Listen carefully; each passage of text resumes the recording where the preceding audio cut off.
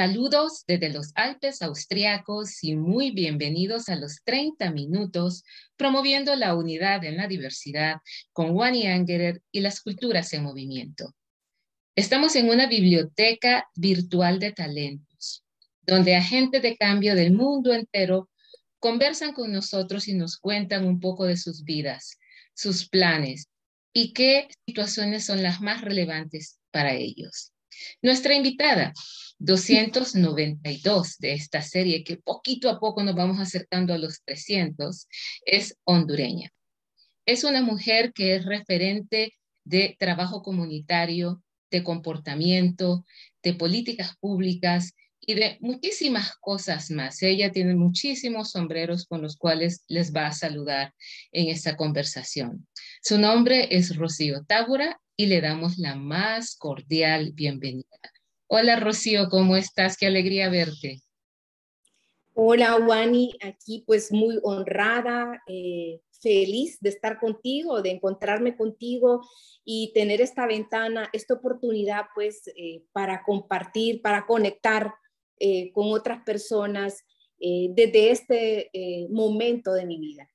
Qué lindo, Rocío. Mira, y me encanta que pues estamos nuevamente conectadas y que vamos a tener la oportunidad de escuchar qué depara el futuro para ti, porque creo que llega un momento en la vida que uno ve desde el punto que se encuentra para adelante. Y eso es lo que cuenta. Todo lo demás solamente son elementos que han agregado pues un poco de color al gran cuadro como el que tienes atrás tuyo. Mm. Tan lindo. Sí, y muy hermoso, un regalo de un amigo y que precisamente pues acompaña esta conversación. Cuéntanos, ¿quién es Rocío Tábora? Pues eh, mira, en este, te voy a hablar desde este momento, como tú bien lo planteas. pues como yo considero que la vida es un viaje, pues en este momento eh, yo me considero una viajera, una viajera eh, recuerdo nuestro encuentro en ese viaje, Wani, cuando empezó Mujeres en las Artes, que fue un momento muy hermoso, creo, en nuestras vidas como, como creadoras, como mujeres, buscando una identidad, eh, una voz. Y, y, bueno, y de ahí pues eh, eh, han pasado muchísimas cosas, tanto en mi vida personal como en mi vida profesional. soy una mujer que vengo en este momento de un viaje muy duro, muy duro, un viaje por el mundo de la política, de la gestión pública, un viaje eh, que casi arrasó conmigo. Es, eh, es el paso de la, la, política, la gestión pública, eh, es un mundo que casi te desfigura, en la que uno deja horas de trabajo, muchos sueños en el camino, eh, pero es un mundo muy brutal realmente y, de mucha violencia en, este momento, más cuando nos enfrentamos desde nuestra condición de mujeres, eh, aunque creo que es un mundo muy brutal para hombres y mujeres y, claro, nosotras la vivimos eh, de una manera distinta, pero vengo de allí entonces, de, de, un tiempo muy duro. No, no, no voy a entrar más en detalles en eso, pero sí eh, puedo decir que eh, vengo de allí, de ese viaje, y que estoy, he estado en un proceso de, de sanación, eh, de mucha reflexión, ¿verdad?, sobre ese paso. y en un proceso de, de, de recuperar mi voz, de crear, de volver a crear, porque para mí en la escritura hay mucho de ese proceso de, de sanación, de encuentro con, conmigo mismo, pero, pero también eh, escribir para, para conectar eh, con otras personas. Em, en tiempos eh, de mucha desesperanza, creo yo que nos toca pues avanzar. Em, bueno, soy, soy una madre, soy, soy abuela, Wani, ¿verdad? Ya soy abuela. Em, es una, eso es una experiencia hermosa, es un tema reciente. Eh, en este momento soy, eh, estoy más abocada al tema de reflexión, eh, sí, de trabajos, obviamente estoy volviendo a trabajar más en el, en el sector privado, pero mi momento lo defino más como un momento de, de reflexión, de volver a escribir. Em, la escritura es la herramienta con la que cada vez que, que, que, paso por momentos difíciles, es, la escritura es la que me ayuda como volverme a armar a mí misma, tener un andamiaje interno para, para seguir adelante. eso es lo que te podría decir de, de, quién soy, especialmente en este momento. Rocío, es hermoso saber que el arte nos permite de alguna manera reencontrarnos, respetarnos, reconocernos, porque el arte no tiene agenda. El arte se da en, el momento que debe aparecer y viene con pureza, con transparencia y viene desde un lugar muy, muy eh, profundo de cada uno de nosotros. Cuéntanos, Rocío, ¿cuál ha sido la influencia de tus padres, de tus hermanos, de tus parientes, de la comunidad donde realmente te desarrollas como un ser humano? Cuéntanos. Ay, eh, me encanta eh, esa pregunta porque em, yo eh, te diré que primero te puedo decir que yo crecí a la par de un mercado yo crecí a la parte del mercado municipal de Santa Rosa de Copán y, ese mercado era mi, mi, universo, ¿verdad? Y desde, y desde ese universo, pues, eh, eh, y mi casa, que, que, era la parte del mercado y que era una, una, tienda y también mis tías eran modistas, entonces mi casa era como centro del mundo y yo chiquita, pues para mí era, ese era todo mi, mi universo y, y desde ahí, por ejemplo, eh, estaba, digamos, mi, mi, yo creo que ahí, ahí mis tías me enseñaron y mi mamá me enseñó a, al, al, respeto de, de, todo lo diverso que ese mundo eh, del mercado tenía. Eh, también las, eh, las calles de enfrente, ¿verdad? De, las tiendas de tela de enfrente, que eran de unas señoras, de una familia Handal, yo la recuerdo a la señora Handal tan hermosa, alta, con su peinado, su cigarro, em, desde pues eh, desde ellas hasta las mujeres lencas con sus canastos, eh, llevando las, las, las, lo, que, lo que traían, las la verduras, frutas frescas. Eh, recuerdo los vendedores de cebolla, que eran como una, como un grupo específico eh, de los hombres cargando y vendiendo las, eh, las cebollas, la gente que venía de, de, San Pedro con la mercadería más, eh, más elaborada, más formal. Em, en fin, era, era, entonces vengo, vengo de ese crecimiento.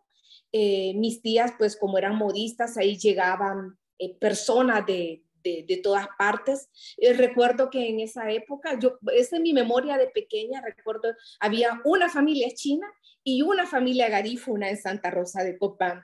Y, mi familia tenía eh, comunicación eh, con ambas. Este, entonces, vengo de, esa, de ese universo diverso. También en la escuela pública en la que yo estudié, también era una escuela donde eh, nos encontrábamos, pues ahí iba gente de todas las clases sociales, ahí iban las familias más, los, los hijos de la familia más pudientes, eh, hasta íbamos todos a esa escuela. Eh, la biblioteca de esa escuela para mí era también una ventana al mundo en ese momento. Entonces yo crecí en ese contexto diverso, crecí en un contexto de mis tías em, de mucha interacción, pero de mucho respeto y alegría en esa interacción del cada día. Eh, mi papá también era un dirigente obrero, era un carpintero.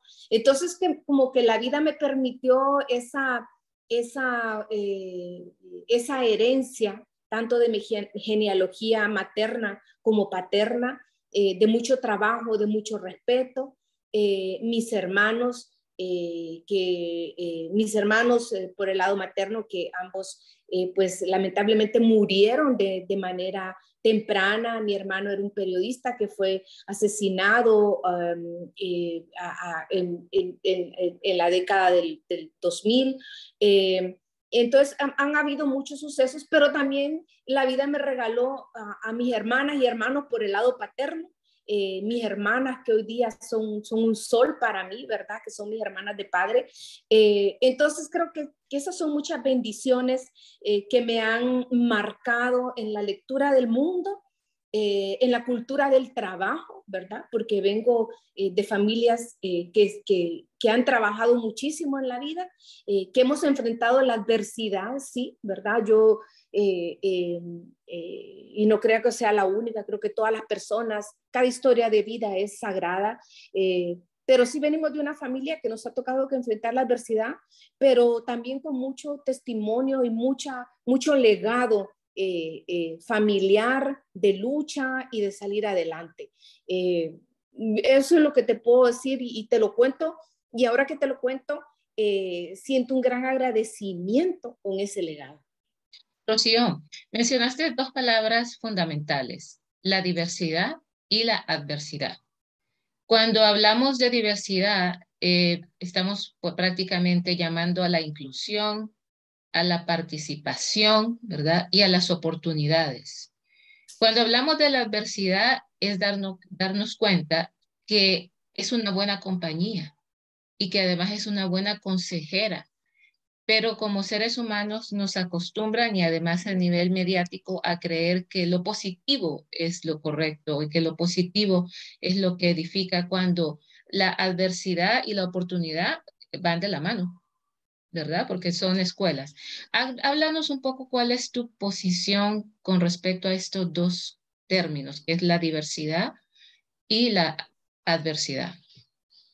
Y, mira que créeme que he estado reflexionando mucho sobre eh, y leyendo también sobre esos temas porque eh, pues a uno le dicen que hay que, que hay que ser eh, resiliente y, y, como que de repente uno se cansa. Yo, digamos, yo digo, yo ya no, ya no quiero ser resiliente, eso ya, ya no. Entonces como que em, yo creo que, que a veces nos, la, lo, la la cultura mediática em, hace mucho énfasis en que siempre tienes que estar feliz, piensa positivo y saldrás adelante. Eh, yo creo que, en la vida uno tiene que, eh, sí, por esforzarse por, la, por mirar integralmente, pero la vida está llena eh, de adversidades. yo creo que en la historia de cada ser humano hay quizá unos más, otros menos, eh, pero eh, la adversidad es parte de la normalidad. El estar triste es parte de la normalidad también. Entonces tú no puedes andar con una sonrisa y, y andar siempre eh, en, esa, en esa lógica de piensa positivo. Ah, es que si tú no piensas positivo, entonces por eso es que las cosas a veces te pasan mal. No, yo creo que la vida es, una, es un abanico de emociones, eh, de vivencias eh, donde la adversidad, eh, donde la tristeza es parte de ese abanico, la melancolía, la alegría, las carcajadas, todo. Entonces hay que asumirlo de manera integral. sí, obviamente, a veces uno se cae en la vida, ¿verdad? Y, se derrumba totalmente y, y, bueno, hay que asumirlo. A veces hay que dejarse caer. ¿Verdad? Para, eh, eh, para volver a renacer, ¿verdad? Es como las plantas, tú ves a veces eh, las plantas pues se marchitan, se, tienen su temporalidad, ¿verdad? De florecimiento y, bueno, después hay que dejarlas descansar y, y, al tiempo vuelven a florecer. Entonces yo creo que las personas también somos así. Entonces no hay que temerle a la tristeza, no hay que temerle al dejarse caer. Eh, sí, hay que alimentar el espíritu de lucha, obviamente, ¿verdad? Pero, pero, pero hay que mirar de manera eh, eh, integral las emociones y, y, las, y las estaciones en nuestra vida. Cuéntame cómo recibes este periodo de silencio interior que estás viviendo. Enriquecedor, enriquecedor, duro porque cuando tú estás en silencio y, y vienes de un periodo de, mucho ruido, de mucho trabajo, de mucha actividad, eh, a veces no miras cosas, ¿verdad? Eh, eh, entonces es un periodo de, mucha reflexión estoy escribiendo, voy a publicar de nuevo este año, ¿verdad? Con, con una importante editorial de la región. Este, estoy escribiendo ensayo político también de nuevo, porque yo me he movido en la línea del ensayo político y en la línea también de la narrativa breve. Eh, pero estoy más con la narrativa breve, estoy más en ese, en ese, en ese mundo, eh, pero también eh, creo que estoy obligada a, escribir ensayo político de nuevo para que ese paso por la gestión pública también produzca una reflexión.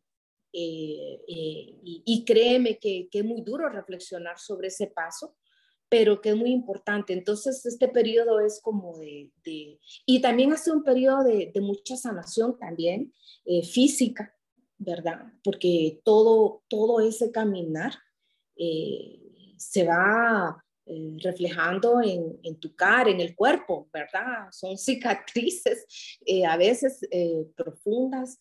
Entonces, he estado, sí es un proceso de reflexión, de sanación, sí, de, trabajar, porque uno tiene que, pues, que trabajar para, para vivir, pero eh, privilegiando eh, eh, las conversaciones, creo que en este es un momento como de, de empezar a conversar después de haber estado como más conmigo misma, con, con, mi familia, mis personas más cercanas, pero creo que, que, que es importante que todo esto sirva para conectar con otras personas, para contar la experiencia, eh, para alimentar, para, para, porque pienso que en la vida todos nos nutrimos. Uno se nutre de escuchar las historias de otras personas, eh, de la experiencia de vida. Entonces, eh, creo que me preparo al momento de publicar. Como me decía un, un, buen amigo, el escritor Javier Suazo, uno escribe para, para, para, para conectar con otras personas, ¿verdad? Esa es la, creación para, es conexión. Entonces creo que, que, estoy en ese proceso para cuando empiece a publicar de nuevo, pues eh, poder eh, eh, conectar, conversar. Estamos hechos para la conversación, para contar nuestras vidas, para nutrirnos. siempre, a veces uno cree que son tiempos muy duros, ¿verdad? De mucha desesperanza, no solo por el COVID, que por la guerra, eh, la destrucción ambiental. Eh, hace poco hablaba, volvía a tomar contacto con una gran amiga que tenía varios años de no conversar con ella, eh, que tú recordarás, María Esther Ruiz, que era desde dirigente campesina de la zona de Santa Bárbara. Y tuvimos una conversación tan hermosa porque las dos hemos sido amigas de la vida, ¿verdad? Con, con, con un cariño entrañable, eh, eh, pero no habíamos hablado. Y entonces empezamos a, a hablar prácticamente de, de, lo que habíamos soñado hace casi 30 años, ¿verdad? De lo que pudimos hacer, de lo que no pudimos hacer, pero con mucha gratitud también a la vida, ¿verdad? Eh, sobre todo, había un elemento muy importante que las dos compartíamos y era lo que habíamos logrado con nuestros hijos, de, entre tanta dificultad, con tanta dificultad, pues sacarlos adelante, ¿verdad? Que fueran personas eh, de bien, que habían estudiado y, que están pues empezando sus vidas. Eh, entonces reflexionábamos mucho sobre eso. Em, entonces, este es el, momento eh, de, en, el que estoy y, y que ojalá pues la vida me permita hacer esas conexiones de, de calidad, eh, pero para, eh, para reflexionar hacia el futuro, en un momento que, que pensamos que todas las utopías están como gastadas, cerradas, pero yo creo que siempre hay algo que hablar, siempre hay algo que, que, que podemos compartir y que la persona menos pensada le, cae esa semillita en ese momento y, le ayuda en ese momento. Y ya eso es bastante, Juan. Ya eso es bastante. Vamos a acompañar este momento que es preciso para las imágenes. Y bueno, nos vas a hablar un poquito de las fotos que seleccioné para ti, Rocío, empezando con esta que me, encantó, o sea, la, la planta atrás y la postura, o sea, muy natural y estabas pues bastante cómoda ahí. Sí, esa foto, fíjate que eh, me la tomó mi gran amigo Evaristo López, tu amigo también. Ah, claro. Entonces, sí, eh, esa foto me la tomó para, eh, recuerdo, esa está en, en, en una publicación de, de, esta revista inglesa uh, Without Borders, creo que es la, la, el nombre de la revista, pero... Eh, Bellísima. esa, esa, la tomó Evaristo, Para, para, una traducción de, de uno de mis trabajos. Excelente. Cuéntanos de este otro momento en esta foto. Mira, ese, ese, eh, ese es esa foto. Eh, si mal no recuerdo, es, eh, estaba trabajando en Naciones Unidas y, y, fue una foto para, para un tema institucional. Sí. Pero como... la, anterior, la anterior ya recordé, sí, la tomó Evaristo para eh, Words Without Borders, eh, que es una, eh, sí, que ahí fue, en esa revista publicaron un trabajo mío, sí. Excelente. Y como mencionabas antes, el rostro, la postura, también demuestra en qué lugar emocional te encuentras. Y tú que vienes de la, de la historia del comportamiento humano, pues sí. lo sabes perfectamente. Sí, sí. Ah, esa es eh, muy hermosa. Esa es durante, eh, en algún momento de, de, mi trabajo en la administración pública, que estábamos apoyando eh, unos programas para, para el sector campesino y este era con con mujeres campesinas y fuimos a ver el, el proyecto, cómo estaba marchando y, y, me regalaron esa bufanda blanca tejida y, y esas flores. Sí, recuerdo ese momento muy, muy bonito. Me encanta. Wow. esa, esa, es en Washington.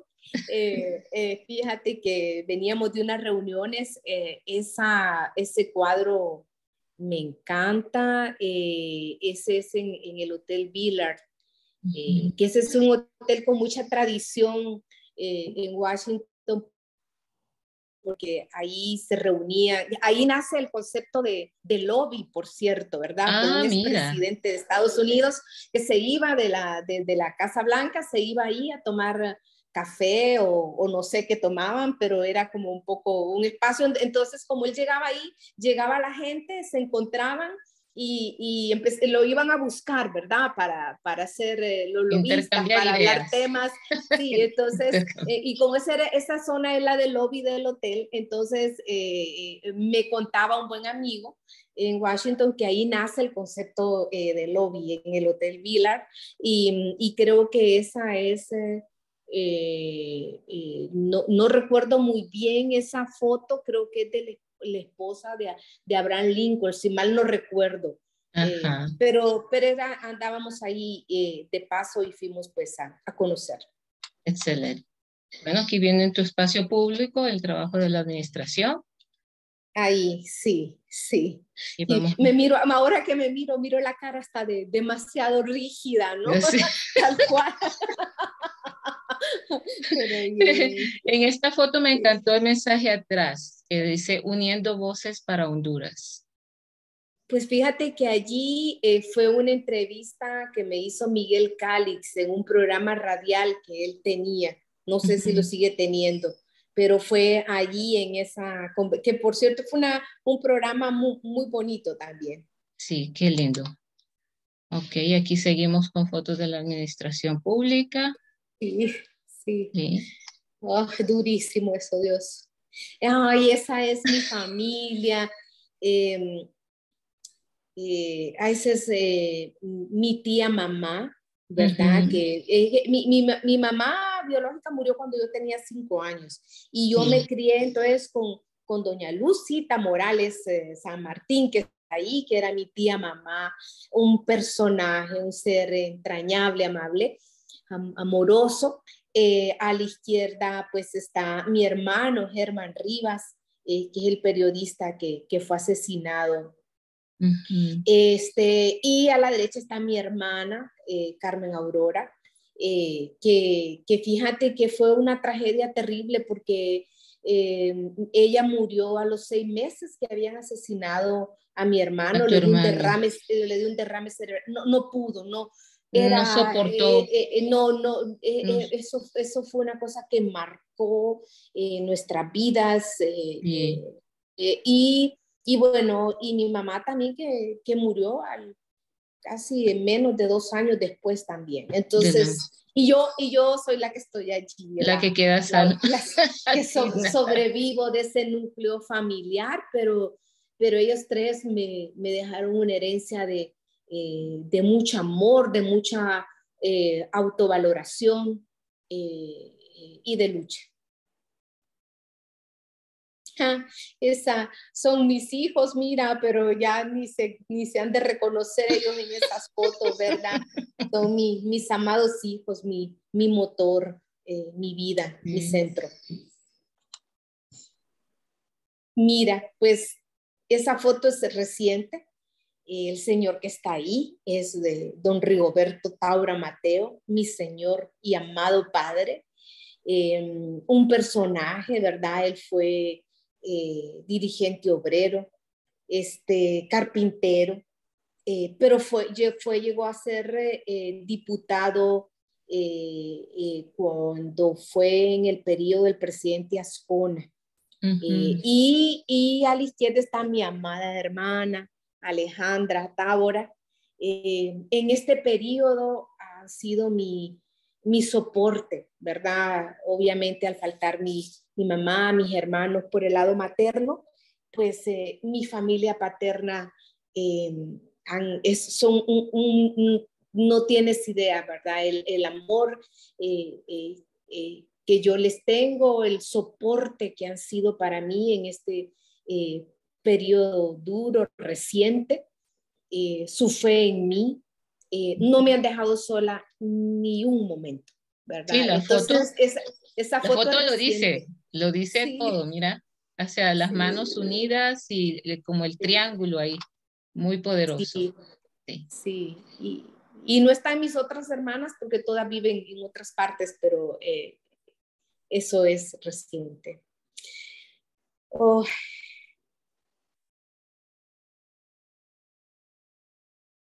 Este es duro. Es duro, pero bello. Sí. Sí. Él es, em, em, es Luis Martín Alemán. Tú sabes que él era sobrino de Claudio Barrera, ¿verdad? El poeta Claudio Barrera. Sí, sí. Eh, incluso eh, hay un libro que, eh, de poemas de, de niñez que el poeta Claudio Barrera escribió y que se lo dedicó a Luis Martín. ¿verdad? Y cuando él, como él vive en Costa Rica, entonces allá sacaron esa edición de ese libro y, y sale la foto em, eh, de Luis Martín en, la, en, en, el libro, entonces, y lo usaban de texto en algunas escuelas de Costa Rica. Ay, ah, un, gran, eh, un, gran, ser humano, eh, amigo entrañable, y, y, fíjate que él pasó algo muy lindo, ¿verdad? él me heredó sus mejores amigos, que eran como sus hermanos, que han sido para mí en estos años, eh, también en estos eh, tiempos difíciles, era como que los hubieran mandado a hacer para que me acompañaran y me aconsejaran, ¿verdad? En, este momento. Em, eh, he estado, son amigos como eh, Segifredo Infante, por ejemplo, que eran como hermanos con, con Luis Martín, este, Edgardo Melgar, este, César Castellanos, eh, Rodney Moncada, este, Marco Tulio Medina, que es el médico que, que ha sido mi médico también, ¿verdad? Eh, y en fin, ¿verdad? Eh, eh, personas muy especiales que son, son amigos heredados, pero eh, era tan fuerte la amistad que él tenía con ellos que, que han sido para mí también... Una familia extendida. Una familia, sí, así es. Eh, sí, la anterior, fíjate que fue su último cumpleaños y entonces esos son pasteles con forma Ah, con fotos de... Él yo me, me, llamaba la atención porque me parecían como muy grandes, fíjate. Sí, no, son pasteles, entonces de, de, sus libros favoritos, sí. La metamorfosis y el, nombre de la rosa de Humberto Eco. Ah, maravillosos libros ambos. Y, y, mira, esa es una foto que para mí es bien especial porque eh, fue la, eh, ahí tenía cinco años. Esa fue la última foto que, que mi mamá, eh, mi mamá murió ese año ella estaba enfrente cuando me tomaron esa foto. Mira la, la, cara que tiene. Sí, no, y adoro las botitas rojas, ¿verdad? Ah, adoro las botitas rojas porque no me las podían quitar y me encantaba estar en el agua, eh, eh, eh, bajo, bajo el agua con esas botitas. sí, Qué linda. Sí. Y bueno, eso, eso, eso fue eh, ayer ah, preparando unos apuntes para, para, para compartir con, contigo en esta, en esta entrevista. Entonces, em, em, y, y, tenía en mano este libro, eh, una habitación propia, porque me lo acaba de regalar el poeta José Antonio Funes. Eh, que vino para mi cumpleaños recientemente y me regaló ese libro.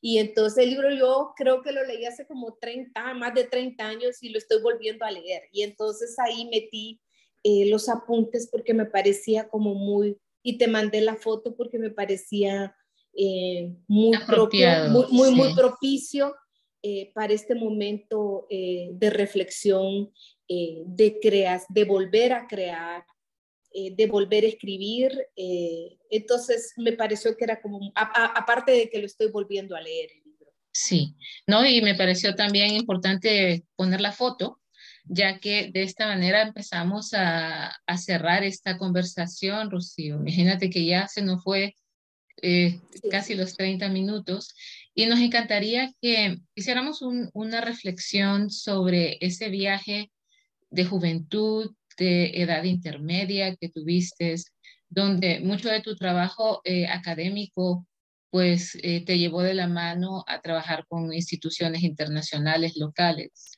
y que luego esa parte como politóloga te tocaba llegar a ese viaje de la política pública que como dices eh, a veces parece ser más inofensiva de lo que realmente es y, y estando ahí eh, pues los seres humanos se dan cuenta de la cantidad de, trastornos que puedes llevar en tu vida con, una relación en ese espacio. Entonces creo que vamos a ir más desde el, mensaje que le, darías a los jóvenes que están interesados en este ámbito de, de, la vida laboral, cómo pueden tener un acercamiento más acertado, más saludable, más integrado. Entonces, pues eh, te quedan dos minutitos para esto, Rocío. Bueno, uno, este, eh, no entrar solos al mundo público. Creo que uno comete el error de, transitar solo. Eh, hay que mantenerse en red, en reflexión permanente. es bien difícil porque el mundo, es, ese espacio es muy accidentado, pero no hay que quedarse solo mientras se transita que no le tengan miedo, yo a pesar de, todo lo horroroso, yo creo que, también es, un espacio que te, que te enriquece muchísimo, te hace crecer muchísimo. Entonces, yo creo que a los jóvenes es a, a, no olvidarse de la política, pero eh, sobre todo a no olvidarse eh, del sí mismos, eh, de no dejar de, de, amar nunca. Yo creo que, que el amor es como la, la esencia que, que, nos construye, ¿verdad? Siempre eh, no, no, poder poner primero ese mundo público antes que tu vida personal, ¿verdad? El, el autocuidado eh, eh, también en ese proceso, pero sobre todo con los jóvenes, yo creo que a veces la creación del mundo no, o del futuro y del presente a veces no está tanto en cosas épicas, sino en el día a día, en el saludar a las personas, en el cuidar el agua, en cómo cuidas tu basura, en cómo tratas tu cuerpo, en cómo te alimentas, en abrazar a alguien, en conversar. Em, entonces, a no desconectarse, pues, ¿verdad? A, reconocer que vivimos en, en, sociedad, somos seres sociales. A veces le, le, tenemos temor a veces a las personas, pero el, el, el, integrar el mundo de lo privado con lo público, pero sin olvidarte a ti misma, sin olvidar tu salud, eh, sin olvidar el amor eh, y las personas que amas.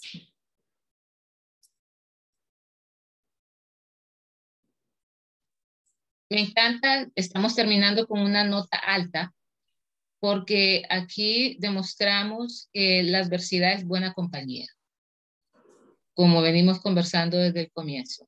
La adversidad a la cual le tememos nos deja muchas enseñanzas y a la vez te hace recordar que uno debe vivir una vida al día. Y si tú consideras que tu vida dura 24 horas, ¿dónde pondrías las prioridades de, ese, de esa vida? Si son 24 horas. Y la realidad es que si vas a dormir, digamos que son unas 18, 17 horas. Entonces, ese mensaje que nos has dado realmente va muy alineado con, con ese punto de vista.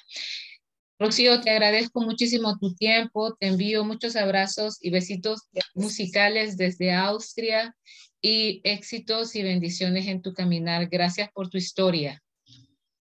Gracias, eh, querida Wani, y bueno, eh, de verdad, te agradezco en el alma eh, porque esta es mi primera salida, por así decir, de hablar de esto. Creo que es la primera vez que lo hago y es importante porque estoy siguiendo con mi vida en todos los planos, sigo adelante en mi vida profesional, en mi vida como escritora, en mi vida amorosa, porque la vida es eso, hay, que seguir, pero esta conexión que me permite hacer a través, esta es la primera conexión que hago eh, desde este espacio eh, interior en el que he estado habitando. Vendrán muchas más. Besitos. Gracias. Chao, chao. Hasta luego, Rosy.